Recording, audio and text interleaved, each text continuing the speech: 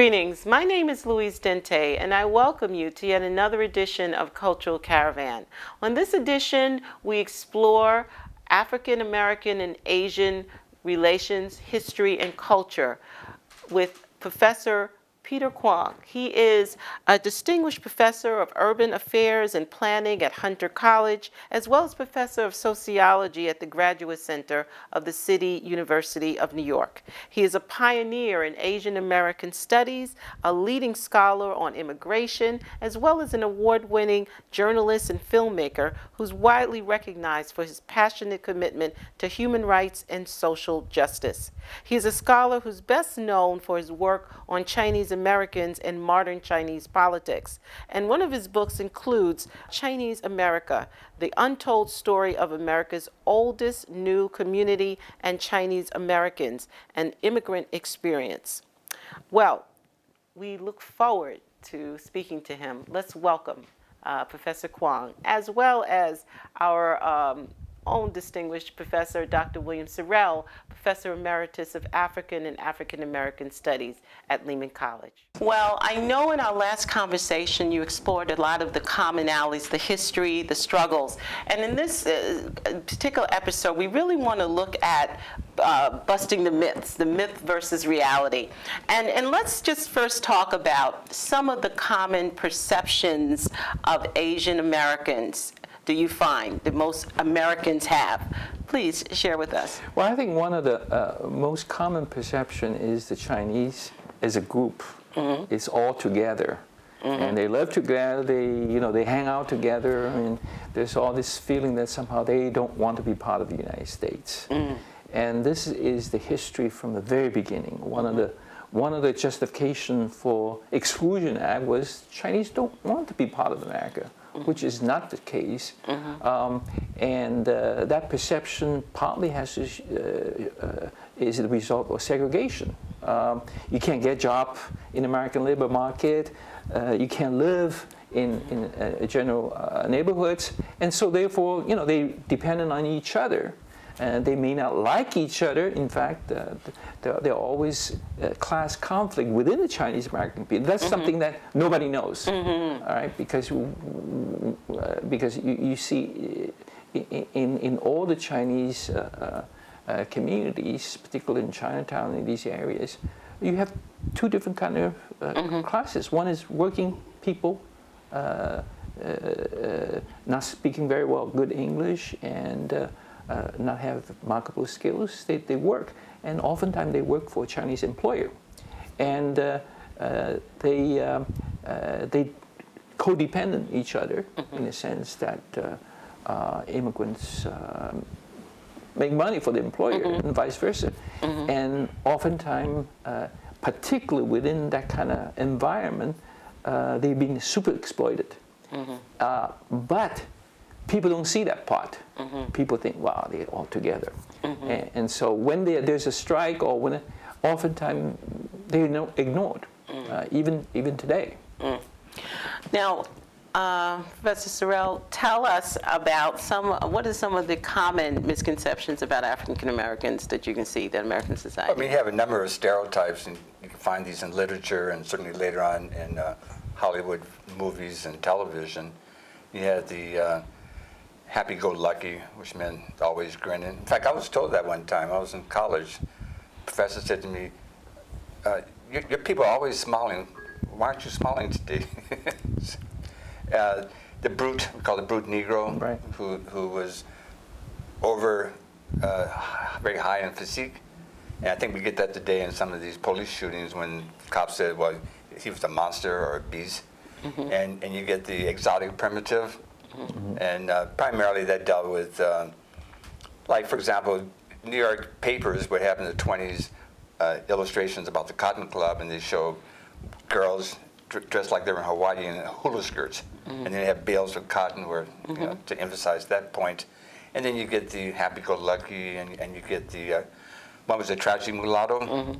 where the person who's, um, you know, uh, results of um, interracial sex would be lost to both white and black societies, and and and you, and you get the um, you know the rapists mm-hmm. you know, which is part of the brute as well. Mm-hmm.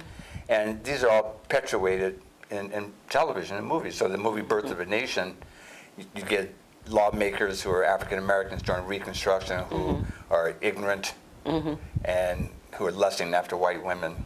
And that just gets, even King Kong, you know, in the movie King, King Kong represents black men. Mm. Now, in line with that, you talk about the media, and we talk about how the media, as Dr. Seraile has talked about, has created these stereotypical images of African Americans that have traveled all over the world. And there are people, I'm sure, in Asia and China and all over who these perceptions are still there. Yes. What are some of the perceptions the media have kind of created around Chinese Americans and Asian Americans? Well, uh, uh, the, the kind of uh, in the old days um, that that uh, the Chinese um, are seen as cunning uh, and um, uh, smart in small ways, all right, um, and also not trustworthy, and uh, in, in, in later on, it's the, the, the, the, the whole image that Chinese are going to take over the United States, the yellow peril. And so you have this Fu Manchu thing somehow. Uh, even even uh, uh, even the James Bond movie had this this idea that somehow some Chinese wicked person is going to take over the world, and so there is that impenetrable somehow these people are so outside of rationality. Uh, um, so that's that's one of those uh, images. Um, and, and in cartoons, you have so many. uh, ideas. I, I didn't grow up in in the United States in, in, in that kind of stuff, but uh, but certainly that's. Uh, About Charlie Chan. I mean, Charlie he was a Chan. white person, but, Yeah. but was Charlie Chan supposed to be like extra savvy in solving crime? Yes, and sub- submissive. Yes. Uh, And so Charlie Charlie Chan is the good Chinese versus the uh, the uh, And Hop Sing and Bonanza. yeah. So so, um, uh, so so there's also also this sense. I mean, this is um, sense of violence, right? Tong wars and uh, martial art and all that kind of stuff, uh, which is uh, which is really uh, exaggerated. I mean, yeah. there I are- saw, I saw a stereotype in a TV series on HBO about this city called Deadwood. Yeah. It was mm-hmm. a western Exactly. city. Mm-hmm. And the only Chinese in the film were, I guess there were chefs, mm-hmm. but every time they kill, a, every time a person get killed, they just throw them into this, give them to the Chinese to throw into the pit to feed the, the pigs. Right. Right. You know, as if they're uncaring, no, no, no sense of, Yeah. of feelings. So it's, it's, it's interesting because I actually went to Deadwood uh, because um, I was writing this book. I tra- my wife and I traveled to all the little towns the Chinese used to be. Chinese was all over the West Coast, all the way from uh, uh, from California, Oregon, Washington, all the way to South uh, Dakota, Utah, and all these places. We we end up in uh, uh, uh, Deadwood, and uh, um, the um, the curator, museum uh, saw me. He said, "Ah, so excited! You know, we found we found this." Uh, uh, this uh, uh, excavation found this uh, Chinese uh, opium there. You know, I mean, anything has to do with Chinese opium. Um, and uh, so uh, uh, it's the idea that uh, Chinese smoke opium. Uh, Chinese have their underground tunnels. God knows what they, all right? Um, and um, so uh, i i it's it's all these very weird, mystical, uh, strange ideas about what the Chinese do, which normal people sh- wouldn't want to do and wouldn't do. Now, as an African American, some of the earliest connections that African Americans have to kind of Chinese culture is the food. Yes. You know, in every African American community, there's a Chinese restaurant, and people become familiar. That's right. Just as a question, is the food that we receive in these food is this actually what Chinese eat themselves, or what? Okay, so let's be very, very clear, all right? Uh, Chinese getting involved in cooking, opening restaurant, 99% of the time has nothing to do with the fact they know how to cook. right? Interesting. Because uh, in the old days, Chinese couldn't get regular jobs because whites don't want to work with Chinese. So they have to be self employed. Mm-hmm. Well, there's only two really easy industry to get in it's providing food uh, and uh, uh, uh, uh laundries. Mm. So before the 1960s, everybody know Chinese either laundryman or restaurant. Right? So mm. restaurant. So so it is a way to survive. Mm-hmm if you want to survive, you better serve food other people want to eat. Mm-hmm. And so you have to adapt to what they want to eat. Mm-hmm. Uh, in addition to the fact you may not know how to cook to begin with. Mm-hmm. So, uh, so the quality of food uh, uh in, in, in the United States, uh, first of all, it's, it wasn't not very good to begin with. Mm-hmm. And when you have adapting to American taste, then it's all a bunch of mumbo jumbo stuff. Oh, okay. So, uh, and, and I think, it, it, interesting enough, the Chinese uh, chef adapting to uh, different neighborhoods, mm-hmm. right? Um, uh, the whites will have certain kind of favorites, the blacks with certain kind of favorites. Spare ribs. Mm-hmm. Spare ribs, mm-hmm. and you yes. know, uh, chow mein, the chow fan. Anyway, mm-hmm. so it, it's not, it's not uh, uh, only Chinese, but my point is that these are adaptations, mm-hmm. and uh, um, certainly they are not the kind of food that the Chinese would eat uh, oh. normally. On the other hand, um, uh, cuisine in China also uh, moving around, changing. Oh. So, so in, in the larger sense that you know Chinese food, there is really you can't say authentic because it will based on you know. Another uh, perception is that Chinese people know kung fu. You know, growing up in the 70s, a lot of people watched the Bruce Lee movies and saw, you know, Asian people really seriously kicking some butt, as they say. And so tell me about that perception. Do all Asians know kung fu? by asking that question, you reveal your age because that's really the 70s. Yes. Um, previous to that, Chinese are seen as weakling. Not only weakling, they are kind of feminine, right? You have all these images, either they asexual or feminine because they so so so so so short physically and all that. Um, Bruce Lee, uh, it, it, was a phenomenon at the time. You know, the the civil rights. Uh, the feeling good about yourself, and it just fit in that period of time. Um, I never, I mean, it was a surprise to me. I mean, I was working in Harlem doing some construction for, for poor housing, and everybody's looking at me, calling me Bruce Lee. and so that's a changing, changing to away from an earlier, much more negative attitude about the Chinese. Uh, uh, to answer your question, no, most people don't know how to do that. I think that, I think the Americans are more interested in kung fu than you know. I mean, a lot of parents don't want their kids to to to be doing this. Mm-hmm. Right. And so it's interesting because, um, in addition, in a more modern time, the yeah. Kung Fu Kid, where you had this uh, American youth going karate to, you know, Karate Kid, thank you, uh, going to China and, uh, you know, being bullied and somehow learning, you know.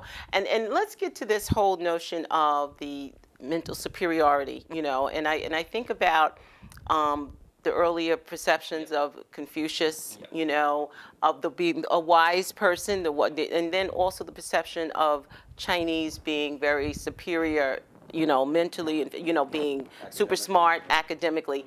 Tell us about that and the challenges. Well, actually, uh, again, shows your age. well, because because in 1960s, uh, you have more or less one group of Chinese in the United States, mm-hmm. which are working class. There are a lot of a lot of Chinese came here to go to college. They're the elite of elite from China. Mm-hmm. They graduate from college, which very very very few people did. You come to the United States to graduate from a graduate school. I mean that's really very very rare. So most of them went back to China. All right. So the only people who were here were working class, not educated, laundrymen, that kind of people. It is only after 1949 when uh, communist regime came, a lot of professional began either stranded here uh, or come from Taiwan. So this is the beginning of different Chinese. There's a Chinese, a working class. There's a Chinese who are super, super educated, right? Even in American. Uh, uh, so, so uh, that's what I use the term the downtown Chinese and uptown Chinese. And the uptown Chinese is the phenomenon you're talking about, right? Uptown Chinese, um, uh, those who immigrants, uh, graduate from college in China, the cream of the crop of Taiwan uh, or, or, or, Hong Kong, and come to the United States to go to graduate school, they go straight into upper middle class neighborhood, right? Because they, then they are doctors, they, they, they're professors, uh, phys, uh, uh physicists, etc., etc.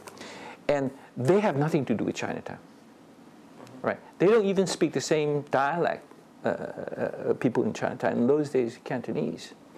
So, so that group of people, their offsprings, right, are the ones we talk about superachiever, because they study their ass off when they were young. So when they have their own kids, they make sure they impose the same kind of harsh, rigorous schedules on their own kids, and and really push them, support them, uh, whether they like it or not. The chances of these group, this group people achieving the, the percentages. So, so you, you, you see these very, very highly achieved Chinese Americans, right? But then you don't see the, the Chinese American who coming from working class neighborhoods. So this is where you know uh, this this gap we don't we don't notice. A, a student of mine did did a, a, a, research of hunter kids, Chinese kids, versus Columbia kids. Mm -hmm. They are totally different, uh, and the outcome, uh, the, the preparation, everything is different. Mm -hmm. So I think um, uh, previously there's only one mode. Mm -hmm the working class, the uh, you know laundry and whatever. Uh, after 1960s, uh, um, 70s, uh, you have two separate, and we, we, we confuse them. Exactly. But they are not really uh, um, for a long time, there's very little interaction. Mm -hmm. Now, just bringing it up to the present, um, right now, and I'm just referring to two popular sitcoms, and it always seems to be comedy. For example, there's a new sitcom called Fresh Off the Boat which has an Asian family. And this is supposed to be, I don't know if you watched it or know the perceptions. I just would like your perception of that show in conjunction with Blackish, which is another show. I don't know how much television you watch. Uh, you know, and these are shows that are supposedly portraying the modern African American and Asian American family. We got another one. It's, I think it's a Korean family and a, a bartender. Yeah. Okay. Yeah. Well, they had, yeah, they have a Korean earlier. Yeah. Exactly. Mm -hmm. So just in, in, just bringing to the present day, and, and my concern is comedy that you, you you're not really seeing. We're not really seeing um, drama, but we're seeing a lot of comedy, whether it be Asian American families, African American families. Bill, talk to us, and particularly you did have seen the show that have been out. I, I've seen. I don't watch the show on a regular basis, but I've seen a few episodes, and uh, I think at least they're trying to address some of the issues mm-hmm. uh, that affect the community at large, which is a lot better than some of the earlier comedies. Mm-hmm. Some of the earlier comedies are just straight out stereotypes, mm-hmm. uh, even buffoonery, mm-hmm. which goes back to the stereotype of you know happy-go-lucky. Mm-hmm. And uh, uh, Blackish, it, it, dealt with identity, uh, yeah, again in, in, in, comedy, but like who are you? you who are we? Mm-hmm. And it shows too some of the differences because the mother and the father come from different cultural backgrounds. Mm-hmm. So that's inter- that's put into play, uh, you know, in the dialog mm-hmm. with the children. Mm-hmm. So I think in that case it's it's helpful because if you have a situation where uh, the father thinks the N word is oh it's okay among us, the mother says no you can't do that. So it shows that you know cultural difference between the 2 mm-hmm. Or like the, like the the, uh, the the patriarch of the family uh, Laurence Fishburne. Uh-huh. Like he's hard on his grandson. Like be a man, be a man, and the, you know the, his son is trying to say, well, Dad, you know this is a different time period. Mm-hmm. You know, like, the boy has a little sensitivity here. Mm. Tell me about. Well, I, I think it, it, compared to the African Americans, there is a long, much longer history of shows has uh, African American characters. Some of the shows uh, basically African American, uh, well, San, San Francisco. Uh, there are hardly any. Uh, Margaret Cho did one series about 10 years ago, and it really failed. Uh, and now you, you, you have several of these things. So, so you, you're basically a show trying to bring out all these complicated uh, like Joy Luck Club. All these different yeah. things yeah. that um, uh, it's never going to satisfy anybody. I mean, it's humor, it's edgy, and some of the things are real. Some I cringe every time I, you know, because I feel so. Well, this is so so much generalization. So it's not a good thing to ask me because some some of the younger people feel, oh, this is the first time we have a we have a presence, uh, and uh, they feel positive. I just feel that. Um, well, that's the way it was for African Americans because. Um, you know, I was I was a teenager in the fifties. Yeah. And my mother would call me, come, come, come quick. And I yeah. run down the stairs. Yeah. And, oh, you just missed it. And what I just missed was like one person, you know, like Nat King Cole, yeah. Variety yeah. Hour. Yeah. Well, maybe next year someone else will be on TV. And then yeah. finally they start getting gradually the yeah. situation comedies. Mm-hmm. And again, a lot of just you know, buffoonery. Mm-hmm. Yeah, yeah. I, I just think that the the, uh, uh, the the exposure of Asian in the media, mm-hmm. uh, in the entertainment is so limited, and yet uh, a public understanding of them is so minimal. Mm-hmm. Um, uh, that's the frustration, you know. Mm-hmm. If you don't, you're not familiar with, people say, mm-hmm. "Well, you know, we don't want to." You know, you, it's it's not going to be a successful show. Mm-hmm. So it, it's this kind of right now. There seem to be a recognition mm-hmm. that the Asian population is growing so fast uh, in the old days, when you know I was started Asian American Studies program, and uh, nobody gives a damn. You know, it's the affirmative action thing. Now they would say, "Hey, you know, uh, thirty percent of our campus is Asian. We got to do something about it." So, so this is a beginning, a positive way. I'm, I should not expect too much out of these shows. Uh, we need more and need uh, to, to dig into deeper. Now, in line, and, and, and particularly, I don't know if this question will board into another episode, but I want to deal with the whole perception that we have, the groups have amongst each other, and, and somehow like we said, we expose some of the stereotypes, yeah. and, and I think that's yeah. important because some of these stereotypes keep yes. both groups away. Yes. Fear, right. insecurities, yeah. misconceptions.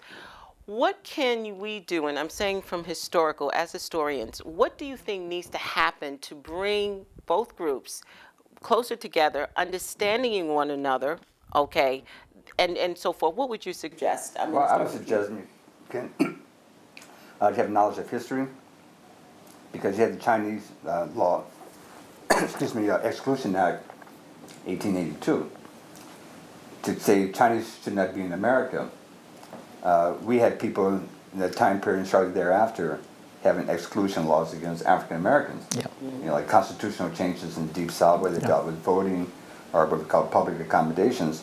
And we had people even back after the Civil War were trying to say maybe we should go back to Africa. Yeah.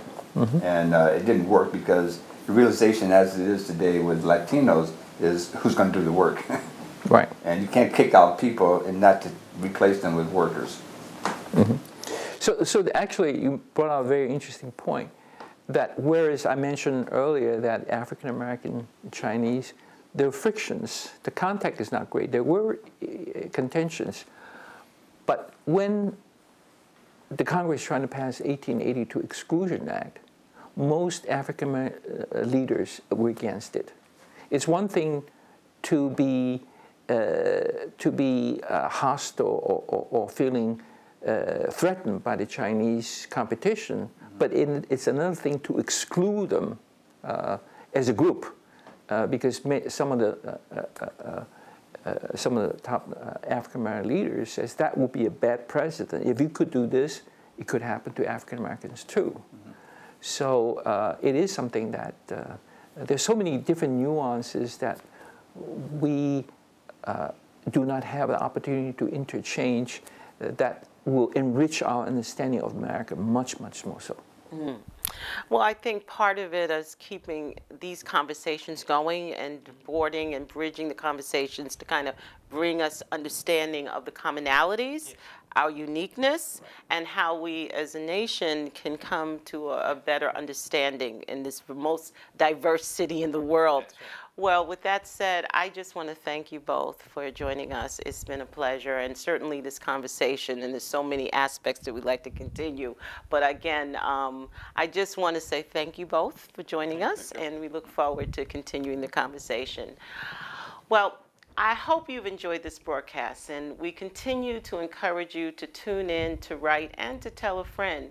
But until next time, Louise Dente saying thank you.